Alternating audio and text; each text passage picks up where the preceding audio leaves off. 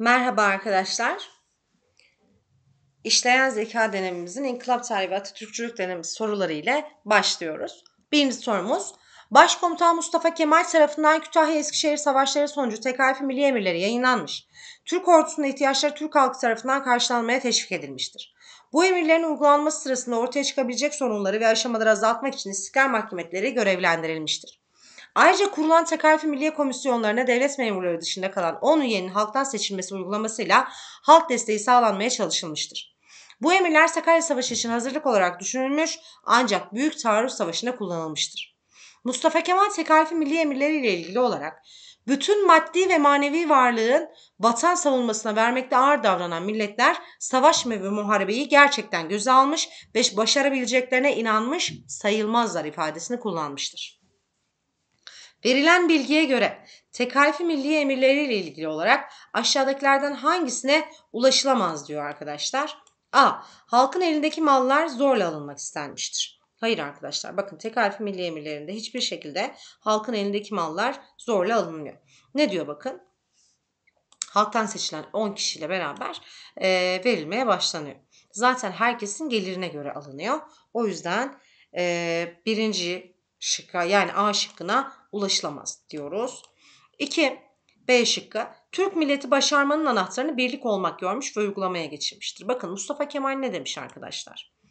Bütün maddi ve manevi varlığını vatan savunmasına vermekte ağır davranan milletler savaş ve muharebeyi gerçekten göze almış ve başarabileceklerine inanmış sayılmazlar diyor. Yani maddi ve manevi olarak birlik olan, kenetlenen kişiler savaşı kazanırlar. Ancak kenetlenemeyenler savaşı kazanamazlar diyor. Birlik olmak önemli yani ulaşılabilir B şıkkına. Yasal olan emirler yargı güvencesi altına alınmıştır diyor. Bakın arkadaşlar tek milli emirleri İstiklal mahkemeleriyle beraber görevlendirilmiş. Yani ne diyoruz? Yasal olan emirler yargı güvencesine alınmıştır diyoruz. Milli mücadelede yaşanan gelişmeler devlet halk bütünleşmesini zorunlu kılmıştır diyor. Evet arkadaşlar tekalifi milli emirleriyle beraber istiklal mahkemelerinin de çalışmasıyla e, alanlar, meydanlar kurulmuş ve bu devlet halktan bazı yardımlar kabul etmişlerdir. Böylelikle devlet ve halk bütünleşmesi zorunlu hale gelmiştir diyoruz. E, B, C, D şıkkına ulaşılabilir ancak A şıkkına ulaşılamaz diyoruz. 2. Osmanlı Devleti'nde meşrutiyetin tekrar ilan edilmesinde amaçlarından hangilerinin gerçekleştirilmek istendiği söylenemez demiş arkadaşlar. 1. Meclis sistemine geçip padişahın yetkileri kısıtlayarak halk yönetime katmak. 2. Kötü gidişata dur deyip dağılmayı önlemek. 3. Yunanların ele geçirdiği 12 adayı geri almak demiş arkadaşlar. Arkadaşlar bakın meşrutiyetten bahsediyoruz. Meşrutiyet neydi? E, padişahın yanında halktan seçilen milletvekillerinin de yönetimde dahil olması demekti. Şimdi bakın birinci öncülde ne demiş? Meclis sistemine geçip padişahın yetkileri kısıtlanarak halkı yönetime katmak. Evet. İki, kötü gidişata dur deyip dağılmayı önlemek. Evet yani sadece padişahın kararlarına bırakmaktan ziyade diyorlar. Ne yapıyoruz? Hem halktan da milletvekilleri seçilmiş olsun ülke yönetimine katkıda bulunalım. Meşrutiyet sistemi de var. Ancak Yunanların ele geçirdiği 12 adayı geri almak meşrutiyet sisteminde kesinlikle yoktur arkadaşlar. Bu yüzden ee, ne diyoruz? Üçüncü öncül ulaşılamaz ve cevabımız B şıkkı dediğimiz yalnız 3 oluyor arkadaşlar. Üçüncü sorumuz. Türk milletinin makus tarihinin dönüm noktası olan 2. Yunan Savaşı Yunan ordusunun Eskişehir ve Afyon'a doğru hareketiyle başladı. Yunan birliklerini Batı Cephesi komutanı İsmet Paşa 27 Mart İnönü mevkinde karşıladı. Türk-Yunan çarpışması 3 gün boyunca sürdü ve İnönü'de ikinci kez Yunanlara aynı sarsılmaz iradeyle karşılaştı. 31 Mart'ta düşman durduruldu ve Yunan ordusu Uşak yönüne doğru çekilmek zorunda kaldı.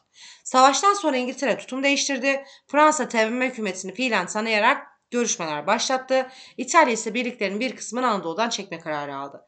Verilen bilgilere göre 2. Yunan Savaşı ile ilgili aşağıdakilerden hangilerine ulaşılabilir demiş arkadaşlar. 1. Osmanlı hükümetinin uluslararası alanda itibarı artmıştır demiş. Hayır arkadaşlar. Osmanlı hükümetinin değil. Kimin artıyor? Mustafa Kemal ve TBMM'nin artıyor. TBMM hükümetinin artıyor. O yüzden birinci öncüle ulaşamayız. 2. Savaş Yunanlıların İnönü mevkinde durdurulmasıyla sonuçlanmıştır demiş. Arkadaşlar bakın ne diyor? 27 ee, Mart'ta İnönü mevkinde karşılandı ve Türk-Yunan çarpışması 3 gün boyunca devam etti ve Yunanlar aynı sarsılmaz iradeyle karşılaştı ve durduruldu demiş. Arkadaşlar ne diyoruz? Savaş Yunanların İnönü mevkinde durdurulmasıyla sonuçlanmıştır. Evet ulaşılabilir diyoruz. İkinci öncülümüze ulaşılabilir diyoruz. 3. İtilaf devletleri arasında görüş ayrılıkları başlamıştır. Bakın arkadaşlar Fransa e, TBMM hükümetini fiilen tanımış ve görüşmelere başlamış. İtalya e, Anadolu'nun bir kısmından çekilme kararı almış. E, ne diyoruz? İtalya, Fransa gibi devletler çekilirken diğer devletler e, hala savaşmaya devam ediyor. Yani görüş ayrılıkları başlamış diyebiliyoruz. Bundan dolayı sorumuzun cevabı 2 ve 3 olan arkadaşlar B şıkkı olabiliyor.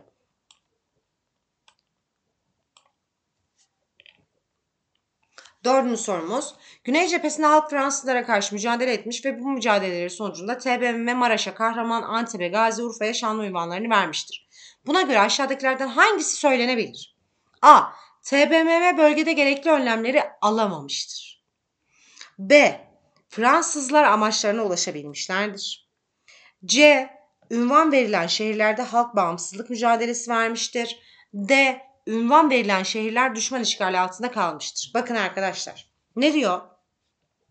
Güney cephesinde halk Fransızlara karşı mücadele etmiş ve mücadeleleri sonucunda TBM Maraş'a kahraman e, Maraş'a kahraman ünvanını, Antep'e Gazi Urfa'ya şanlı ünvanını vermiş. Ne diyoruz? TBMM bölgede gerekli önlemleri alamamıştır diyemeyiz arkadaşlar. Çünkü ne yapmış bakın Güney cephesinde halk Fransızlara karşı mücadele edip bu bölgeleri savunmuş Fransızlara vermemiş. TBMM ile alakalı bir durumdan bahsetmemiş. Fransızlar amaçlarına ulaşmıştır diyor B şıkkında. Hayır arkadaşlar Fransızlar amaçlarına ulaşamamışlar. Çünkü Antep, Urfa, Maraş'ı ele geçirememişler. C şıkkı ünvan verilen şehirlerde halk bağımsızlık mücadelesi vermiştir demiş. Evet arkadaşlar bakın Maraş, Antep, Urfa'da halk Fransızlara karşı mücadele etmiştir diyoruz. Cevabımız C şıkkı oluyor. D şıkkına da bakalım. Ünvan verilen şehirler düşman işgali altında kalmıştır diyor. Hayır arkadaşlar Antep, Urfa, Maraş düşman işgali altından kurtarılmıştır diyoruz. Beşinci sorumuz. Mustafa Kemal'in İstiklal yolculuğundaki son duraklarından biri de milli iradenin sesi olarak nitelendirilen Sivas Kongresi olmuştur. 4-11 Eylül 1919'da toplanan kongrede yaşanan gelişmelerden bazıları şunlardır. Anadolu ve Rumeli Müdafaa Hukuk Cemiyeti kurularak yetki alanı ulusallaştırılmıştır. Ali Fuat Cebesoy temsil heyeti tarafından Batı Cephesi Genelkurmay Milliye Komutanlığı'na atanmıştır. Kongre kararları uygulamak üzere temsil heyeti genişletilerek ulusal görev alanı belirlenmiştir. İstanbul Anadolu arasında yazışmalar durmuş ve haberler kesilmiştir. Verilen bilgilerden yola çıkarak aşağıdakilerden hangisine ulaşılamaz demiş. İtilaf devletleri temsil heyetini artık yasal bir güç olarak kabul etmiştir. Arkadaşlar e, bakalım. E, ne diyor? Mustafa Kemal'in istiklal yolculuğundaki son duraklarından biri milli iradenin sesi olan Sivas Kongresi'dir demiş ama bu Sivas Kongresi'nin altında verilen dört maddede yani şu önümüzdeki dört maddede kesinlikle itiraf devletleri hakkında bir şeyden bahsetmemiş. O yüzden itiraf devletleri hakkında herhangi bir yorum yapamayız. O yüzden ne diyoruz? A şıkkı birazcık dursun. B. Temsil heyeti hükümet görevi üstlenerek yürütme yetkisini kullanmıştır. Bakın arkadaşlar ne yapmış? Ali Fuat Cebesoy'u ee, Batı cephesine Kuvayi Milliye Komutanı olarak atamış. Yani yürütme yetkisini kullanmış diyoruz. C şıkkında ne diyor? Osmanlı hükümeti ile Anadolu hareketi arasında otorite mücadelesi yaşanmıştır diyor. Bakın arkadaşlar İstanbul ve Anadolu arasında yazışmalar durmuş, haberleşmeler kesil, kesilmiş. Yani evet bir otorite mücadelesi yaşanmış. Direniş cemiyetleri tek bir çatı altında toplanmıştır diyor. Evet arkadaşlar Anadolu ve Rumeli Müdafaa Hukuk Cemiyeti adı altında yararlı cemiyetler tek çatı altında toplanmıştır diyoruz. Ama itiraf devletleri hakkında herhangi bir yorum olmadığı için itiraf devletleri temsil etsin artık yasal bir güç olarak olarak kabul ettiğine dair bir yorum yapamıyoruz. Cevabımız A şıkkı olacak diyoruz. Altıncı sorumuz. Mustafa Kemal Trablusgarp Savaşı'nda Derne'de düşman durdurmayı başarmıştır. Tobruk'ta İtalyan kuvvetlerini çıkarma yapmalarını engellemiştir. Bingazi'de düşman kuvvetlerinin ilerlemesini yavaşlatmıştır. Verilen bilgilere bakarak Mustafa Kemal ile ilgili çıkarımlardan hangilerine ulaşılabilir diyor arkadaşlar. Ee, bakın. Başarı kazandı. Arkadaşlar evet Derne ve Tobruk'ta Mustafa Kemal düşmana karşı başarı kazanmıştır diyebiliriz. İki İtalyanlarla mücadele etti. Ne demiş arkadaşlar bakın. Tobruk'ta İtalyan kuvvetlerine çıkarma yapmalarını engellemiştir demiş. Evet İtalyanlara karşı savaştığını da görebiliriz. 3 ee, yeni rütbe kazandı demiş. Arkadaşlar burada Mustafa Kemal'in aldığı yukarıdaki 3 öncülde Mustafa Kemal'in aldığı herhangi bir e, rütbeden bahsedilmemiş. O yüzden 1 ve 2'ye ulaşılabilirken 3. öncülümüze ulaşılamaz diyoruz. Yani cevabımız 1 ve 2 olan B şıkkımız oluyor. 7. sorumuza bakalım. 23 Nisan 1920'de açılan TBMM'ye karşı İstanbul'da bulunan Damat Ferit Paşa hükümetinin ve itilaf devletlerinin tavrı giderek sertleşmeye başladı. Ulusal bağımsızlığı hedefleyen Anadolu Hareketi'ni ve ulusal iradeye dayalı TBMM'ye hedef alarak milli mücadeleyi yasa dışı bir faaliyet olarak nitelediler. Mustafa Kemal gıyaben idama mahkum edildi. Osmanlı hükümeti ve itilaf devletleri Türk halkını TBMM'ye karşı kışkırtarak Anadolu'nun dört bir yanından isyanların çıkmasına neden oldular. Bu isyanlar yeni kurulan TBMM için bir varoluş sınavı oldu. Yareti Vataniye Kanunu çıkaran TBMM istiklal mahkemelerini kurarak kısa sürede duruma hakim olmayı başardı.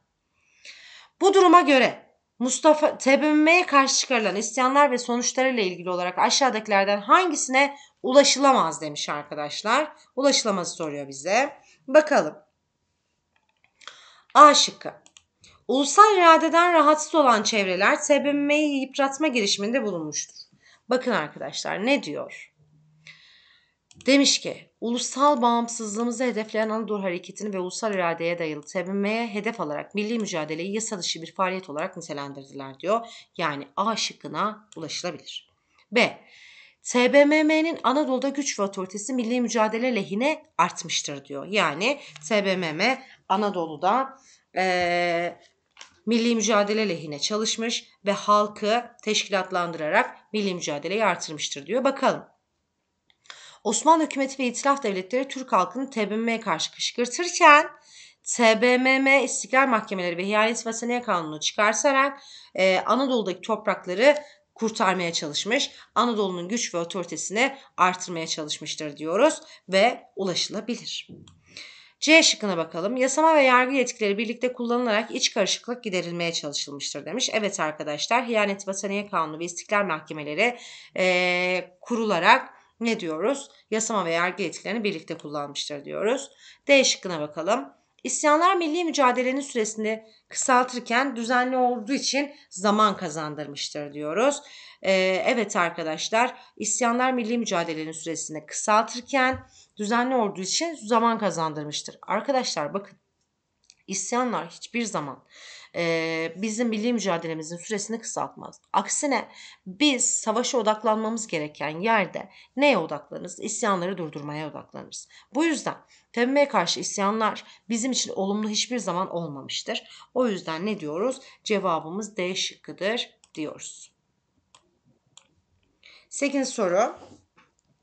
İtilaf devletleri İstanbul'u işgal ettikten sonra Osmanlı Devleti e, ile Sevr Antlaşması'nı imzalamıştır. Sevr Antlaşması Türk milletinin yok oluşunu amaç edinen belge olarak tarihe geçmiştir. TBMM bu belgenin geçersiz olduğunu ve uygulanamayacağını ifade etmiştir diyoruz. Sevr Antlaşması'nın Os Sevr Antlaşması'nın Osmanlı hukukuna göre geçersiz olmasının e, nedeni aşağıdakilerden hangisidir? A. Büyük Millet Meclisi tarafından onaylanmamış olması. B. Halk onayına sunulmaması. C. Mebusan Meclisi'nin onayından geçmemesi. D. Mustafa Kemal ve arkadaşlarının onayına sunulmaması demiş arkadaşlar. Arkadaşlar bakın. Ne diyor yukarıda? İtilaf devletleri İstanbul'u işgal ettikten sonra Sevr Antlaşması'nı imzalamışlar diyor. Sevr Antlaşması Türk milletinin yok oluşunu amaç edinen belge olarak tarihe geçmiş ve TBMM bu belgenin geçersiz olduğunu ve uygulanamayacağını ifade etmiş diyor. Sevr Antlaşması'nın Osmanlı hukukuna göre geçersiz olmasının nedeni tek bir nedeni vardır arkadaşlar. Bu bilgi sorusudur. Mebusan Meclisi'nin onayından geçmemesi. Osmanlı Devleti'nde padişah imzalası dahi Mebusan Meclisi'nin onayından geçmeyen hiçbir antlaşma yürürlüğe giremez arkadaşlar diyoruz ve bu yüzden Mebusan Meclisi'nin onayından geçmemesi istiyoruz. 8. sorumuzun cevabı C şıkkı oluyor. 9. sorumuza bakalım. Birinci Dünya Savaşı'ndan evvel Ee, Osmanlı Devleti'nde bu savaşa girmemesi, Osmanlı Devleti'nin bu savaşa girmemesi gerektiğini, savaş sürerken de bu savaşı Almanların kaybedeceğini söylemiştir. Çanakkale Savaşı'nda ben size taarruz değil ölmeyi emrediyorum sözleriyle Türk ordusunun direniş gücünü en üst seviyeye çıkarmıştır. Milli mücadelenin hazırlık aşamasında genelgeler ve kongreler düzenleyerek halkı milli mücadele ruhu etrafında toplamıştır. Kütahya Eskişehir savaşlarında alınan yenilikten sonra umutsuzluğa düşmemiş, başkomutanlık yetkisini alarak milletine umut olmuştur. Yukarıda verilen örneklerden yola çıkılarak, çıkılarak Mustafa Kemal'in kişilik özellikleriyle ilgili aşağıdakilerden hangisine ulaşılamaz diyor arkadaşlar. A. Kararlılık özelliği sayesinde hedefi kesin ve net çizgilerle ilerlemiştir. Evet arkadaşlar ne demiş bakın bir Dünya Savaşı başlamadan önce bu savaşa girmemesi gerektiğini, savaşı e, savaş sürerken de bu savaşı Almanların kaybedeceğini söylemiş. Bununla beraber e, bu ileri görüşlüğüne denk gelse de mesela ne diyor bakın milli mücadele etrafında topluyor insanları. Hiçbir şekilde umutsuzluğa düşmüyor. Bunlar Mustafa Kemal'in kararlı olduğunu gösterir. B şıkkına bakalım. Birleştirici ve bütünleştirici özelliği sayesinde Türk milletini milli mücadelede örgütlemeyi başarmıştır diyor. Bakın ne diyor? Genelgeler ve kongreler düzenleyerek halkı milli mücadele ruhu etrafında toplamıştır diyor. B şıkkına da ulaşılabilir. C şıkkına bakalım. Olaylar karşısında soğukkanlı davranarak umutsuzluğa kapılmama demiş. Bakın zaten ne diyor? Yenilgiden sonra Kütahya Eskişehir Savaşı'ndaki yenilgiden sonra umutsuzluğa düşmemiş. Başkomutanlık yetkisini alarak tekrardan halka umut olmuştur diyor. Evet. D şıkkına bakalım. İnkılapçı devrimci yönü Türk milletinin çağdaşlaşmasını sağlamıştır diyor. Arkadaşlar Mustafa Kemal'in ee, evet inkılapçı devrimci yönü de vardır. Ancak yukarıdaki maddelerde Mustafa Kemal'in inkılapçı yönünden bahsedilmemiş. Ne zaman Mustafa Kemal'in inkılapçı yönü devreye girecek? Türkiye Cumhuriyeti'ni kurduktan sonra devreye girecek arkadaşlar. Bu yüzden cevabımız D şıkkı olacak diyoruz. 10. sorumuz Osmanlı Devleti 1. Dünya Savaşı öncesinde müttefik arayışını ilk olarak itilaf devletleri önünde başlatmış, ilk teklifi İngiltere'ye sunmuştur. Ancak başta Rusya ve Fransa olmak üzere diğer devletlerin de baskısıyla Osmanlı Devleti'nin bu teklifi red cevabı almıştır. İtilaf devletlerinden red cevabını alan Osmanlı Devleti bu defa Almanların ittifakı teklifinde bulunmuştur. Bu konuyla ilgili olarak Kazım Karabekir İngiliz İngilizlerin zırhlılarımıza el koymaları ve bedelini geri vermemeleri hükümetin Almanlarla ittifak yapmasına sebep oldu. Rusya'nın boğazları saldırması karşısında vatanı başka şekilde savunmaya imkan kalmamıştı. Erkan Harbiye'mizi onlara teslim ettik. Bütün seferberlik planlarımızı Almanlar yaptı. Bizler sadece onlara malzeme hazırladık. Onlardan gizli bir şeyimiz yok ifadeleriyle Osmanlı Devleti'nin 1. Dünya Savaşı'ndaki durumunu özetlemiştir. Yukarıda verilen bilgilere göre yargılarından hangilerine ulaşılabilir diyor arkadaşlar. Ulaşılabilire bakacağız. 1. İtiraf devletlerinin Osmanlı Devleti'ne karşı Osmanlı-Almanya işbirliğini ortaya çıkarmıştır. Evet arkadaşlar bakın ne diyor? Ee, normalde gitmişiz ne yapmışız İngiltere'de teklif sunmuşuz. Ancak İngiltere'den bu dönemde red cevabı almışız. Bunun üzerine başımıza gelen bazı olaylar sonrasında gidip Almanya ile işbirliği yapmak zorunda kalmışız. O yüzden itiraf devletlerinin Osmanlı Devleti'ne karşı tavrı Osmanlı-Almanya işbirliğini ortaya çıkarmıştır. 2. Osmanlı Devleti'nin emir komuta kademesi yabancıların yönetimine bırakılmıştır. Evet arkadaşlar ne demiş bakın. Diyor ki Erkan Harbiye'mizi onlara teslim ettik. Bütün seferberlik planlarımızı Almanlar yaptı. Biz sadece onlara malzeme hazırladık. Onlardan gizli bir şeyimiz yok demiş. Yani askeri anlamdaki her şeyi kim yapmış? Almanlar yapmış.